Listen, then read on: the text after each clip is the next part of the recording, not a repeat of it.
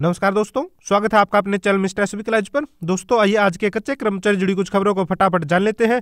कहाँ से क्या खबर आई है? तो सबसे पहली खबर देख लेते हैं। साथियों, आज पंचकुला पिंजोर से स्वास्थ्य ठेका यूनियन की बैठक में समस्याओं पर हुई है चर्चा। जी हाँ दोस्तों, यहाँ पर स्वास्थ्य ठेका कर्मचारियों की दोस्तों बैठक हुई और इनकी समस्याओं पर इन्होंने विचार किया है। यहाँ पर बताया गया है कि किस तरह से कर्मचारियों से 12 घंटे की ड्यूटी करवाना या फिर सैलरी पूरी न आना, कर्मचारियों को सीएल न मिलना आदि समस्याएँ दोस्तों इनकी प्रमुख हैं। इन्होंने कहा है कि वर्ष 2020 में साथियों, इन्होंने कोरोना काल के दौरान मेहनत और लगन से अपनी ड्यूटी की, लेकिन दोस्तों जो लाभ दिया जाना था सरकार की तरफ़ से पाँच हज़ार रुपये का इनके अकाउंट में आज तक नहीं आया, जबकि जो सीनियर अधिकारी थे इनके, उनके अकाउंट में दोस्तों पाँच हज़ार रुपये का लाभ दे दिया गया। उन्होंने बताया कि जब से कौशल रोज़गार निगम बना है, तब से किसी भी कर्मचारी को न तो वर्दी दी गई है, न ही किसी को आई कार्ड प्रदान किया गया है। यूनियन ने कहा कि अगर उन्हें पेश आ रही समस्याओं की तरफ़ अधिकारियों ने ध्यान नहीं दिया तो यूनियन कड़ा फैसला लेगी। जी हाँ दोस्तों, यहाँ पर स्वस्थ ठेका कर्मचारियों ने अपनी विचार विमर्श किए हैं समस्याओं पर। आगे बढ़ते यहाँ पर एक रोज़गार मेला देख लेते हैं। आईटीआई में रोज़गार मेला अट्ठाईस को। जी हाँ दोस्तों, राजकीय औद्योगिक प्रशिक्षण संस्थान में दोस्तों, यहाँ पर हिसार से खबर है 28 दिसंबर को ये रोज़गार मेला लगने जा रहा है, मेगा, जो फिर दोस्तों यहाँ पर इसका आयोजन करवाया जाएगा। इसमें 20 से 25 कंपनियाँ दोस्तों इसमें पार्टिसिपेट करेंगी तो इच्छुक कैंडिडेट 28 तारीख को हिसार राजकीय औद्योगिक प्रशिक्षण संस्थान में दोस्तों इसमें जा सकते हैं और अपना भाग ले सकते हैं। आगे बढ़ते हैं, चंडीगढ़ से खबर है, आंगनवाड़ी केंद्रों पर रोज़ाना बच्चों, वर्करों और हेल्परों की ऑनलाइन लगेगी हाजिरी। मनोहर लाल, जी हाँ दोस्तों, यहाँ पर सरकार ने एक प्रावधान कर दिया है, अब नया फैसला लिया है कि अब इन कर्मचारियों की भी साथियों ऑनलाइन हाजिरी लगाई जाएगी। यहाँ पर बता दें कि सरकार अनेक तरह के दोस्तों, इस तरह के कदम उठाते रहती है कि कर्मचारियों ताकि कम से कम दोस्तों, जो कर्मचारी जो एक तरह से लापरवाही बरतते हैं, वो बरतें। भाई, ज़्यादा से ज़्यादा सख्ती करने की कोशिश करिए, लेकिन दोस्तों ठीक है, नियम, रूल, रेगुलेशन बनाइए, लेकिन कर्मचारियों की जो समस्याएँ हैं उन पर भी ध्यान दीजिए। यहाँ पर देखिए दोस्तों, आंगनबाड़ी वर्करों की ही समस्याएँ हैं ये। आंगनबाड़ी वर्कर ने मांगों को लेकर किया है प्रदर्शन, सौंपा है ज्ञापन।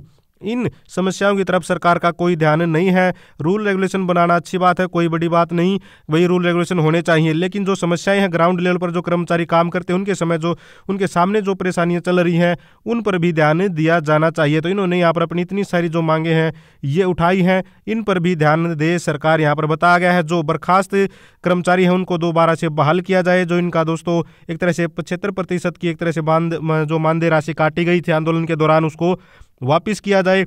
महँगाई सूचकांक के साथ इनकी दोस्तों सैलरी को जोड़ा जाए ताकि जब महँगाई बढ़े तो सैलरी भी बढ़े। तो यहाँ पर आंगनबाड़ी कर्मचारियों से भी भाग से बाहर के काम न करवाया जाए। इस तरह के यहाँ पर इनकी प्रमुख मांगे हैं। आंगनबाड़ी वर्करों के ऊपर दोस्तों काफ़ी बर्डन होता है। काम का हर छोटे से छोटा काम इनके ऊपर थोप दिया जाता है।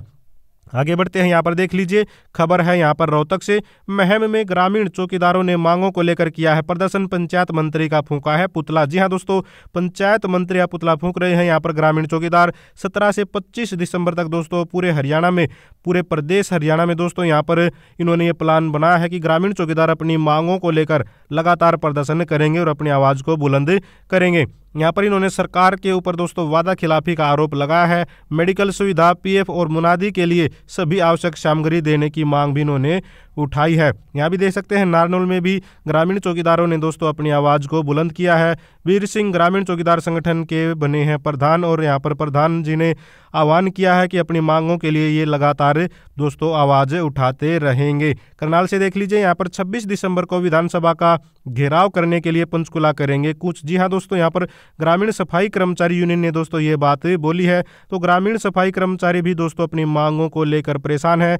बार बार दोस्तों आश्वासन देने के बावजूद भी कोई दोस्तों समाधान नहीं हो रहा है। यहाँ पर बता दें कि पंचायत मंत्री देवेंद्र बबली से भी दोस्तों इनकी दोस्तों मीटिंग हुई थी और उसमें आश्वासन दिया गया था कि इनकी मांगों पर ध्यान दिया जाएगा, लेकिन किसी प्रकार का कोई दोस्तों समाधान नहीं हुआ। राजौन से देख सकते हैं, यहाँ पर नगर पालिका व फायर कर्मचारियों के साथ हुए समझौते के परिपत्र जल्दी से जारी करे सरकार। जी हाँ दोस्तों, जो सर्व कर्मचारी संघ ने 11 दिन की हड़ताल की थी, उस दौरान जो सरकार ने वादा किया था मांगे मानने का, उस वादे को पूरा करवाने के लिए भी एक और दोस्तों हड़ताल करने की तैयारी कर रहे हैं कर्मचारी। भाई कोई भी ध्यान नहीं दिया जा रहा है। सरकार सिर्फ़ वादे करके कर्मचारियों की हड़ताल समाप्त करवा देती है। यहाँ भी देख सकते हैं, करनाल से खबर है, करनाल में गर्जे चतुर्थ श्रेणी कर्मचारी। जी हाँ दोस्तों, कच्चे कर्मचारियों को पक्का करने की पॉलिसी बने तो कच्चे कर्मचारियों को पक्का करने की पॉलिसी बनाने को लेकर यहाँ पर कर्मचारियों ने आवाज़ बुलंद की है। बता दें, यहाँ पर भी कौशल रोज़गार निगम का ये विरोध कर रहे हैं। इन्होंने यहाँ पर कहा है कि डायरेक्ट पॉलिसी बनाए सरकार और सीधे ही पक्का करे कच्चे कर्मचारियों को। पार्ट टाइम कर्मचारियों को फुल टाइम कर्मचारी घोषित किया जाए और उनको 10 महीने की बजाय दोस्तों 12 महीने की सैलरी दी जाए और न्यूनतम वेतन दोस्तों लागू किया जाए। तो यहाँ पर काफ़ी संख्या में कर्मचारी इकट्ठा हुए और अपनी आवाज़ को बुलंद किया है। अब ग्रामीण चौकीदार परेशान थे तो, तो ग्रामीण सफ़ाई कर्मचारी परेशान थे तो अब शहरी सफ़ाई कर्मचारी भी दोस्तों कुछ इसी तरह के हालात हैं। शहरी ठेका सफ़ाई कर्मचारी ने दिया है ज्ञापन। आज से पाँच कर्मी शुरू करेंगे। भूख हड़ताल तो इनको भी भूख हड़ताल पर बैठने के दोस्तों मजबूर होना पड़ रहा है अपनी मांगों को लेकर। यहाँ पर बता दें कि कर्मचारी अपना जो डीसी रेट है इनका, उसके अनुसार इनको जो एरियर बनता है, वो एरियर जारी करवाने को लेकर वह बेसिक सुविधाओं की मांग करते हुए दोस्तों कर्मचारी भूख हड़ताल यहाँ पर करना स्टार्ट करेंगे अपनी मांगों को लेकर। तो सोनीपत से दोस्तों ये खबर है। आगे देख लेते हैं, यहाँ पर ब्राडा से है, सफ़ाई कर्मचारी ने पार्षद को सौंपा है ज्ञापन। तो यहाँ पर दोस्तों, तीन महीने से कर्मचारियों को सैलरी नहीं मिली है। सैलरी नहीं मिलने के कारण कर्मचारी परेशान हो रहे इनको दोस्तों जगह जगह पर हड़ताल करनी पड़ रही है। ज्ञापन देने पड़ रहे हैं, लेकिन आश्वासनों के अलावा कुछ नहीं मिल रहा है। तीन महीने की सैलरी को लेकर लगातार कर्मचारी दोस्तों परेशान हैं। अब तीन महीने मेहनत की, अब सैलरी लेने के लिए भी इनको इतनी ही मेहनत करनी पड़ रही है। इस से देख लीजिए, अगली खबर यहाँ पर 25 को होगा। परिवहन मंत्री के आवास का घेराव तो रोडवेज़ के कर्मचारी दोस्तों, मांगों को लेकर 25 को वल्लभगढ़ स्थित परिवहन मंत्री मूलचंद शर्मा के आवास को दोस्तों घेरने जा रहे हैं अपनी मांगों को लेकर। यहाँ पर देख लीजिए, खरखोदा से है इंसेंटिव न बढ़ाए जाने से आशा वर्करों में है रोज तो आशा वर्कर भी दोस्तों काफ़ी मेहनती कर्मचारी होते हैं। आप लोगों को बता दें कि आंगनबाड़ी वर्कर की तरह आशा वर्कर के साथ भी दोस्तों इसी तरह का कुछ काम हो रहा है कि उनके ऊपर भी एक्स्ट्रा बर्डन डाला जा रहा है। काम का ऑनलाइन काम का काफ़ी दबाव हो रहा है। लगातार काम का बोझ बढ़ाए जाने व इंसेंटिव न बढ़ाए जाने से आशा वर्करों में रोष व्याप्त। जी हाँ दोस्तों, आशा वर्करों से जो एक तरह से आजकल जो आयुष्मान कार्ड बन रहे हैं, उनका काम करवाने का दबाव बढ़ रहा है और जो आयुष्मान कार्ड का काम आप लोगों को पता है, पूरे ज़ोर पर है क्योंकि सरकार का फ्लैगशिप प्रोग्राम एक तरह से बन चुका है। जींद में भी देख सकते हैं आशा वर्करों का को करना होगा। ऐप के माध्यम से काम। जी हाँ दोस्तों, ट्रेनिंग वगैरह की इनकी तैयारी चल रही है। आशा वर्कर ने कहा, नहीं चलाना आता। टैब ट्रेनिंग का किया है बहिष्कार। तो यहाँ पर ट्रेनिंग का बहिष्कार भी करने की बात बोली जा रही है। यहाँ पर देख सकते हैं एनसीडी ट्रेनिंग के लिए आशा वर्कर को करना होगा ऐप के माध्यम से काम। तो इनको ट्रेनिंग एक तरह से दी जा रही है सरकार की तरफ़ से कि आशा वर्कर जो ऑनलाइन काम कर सकें।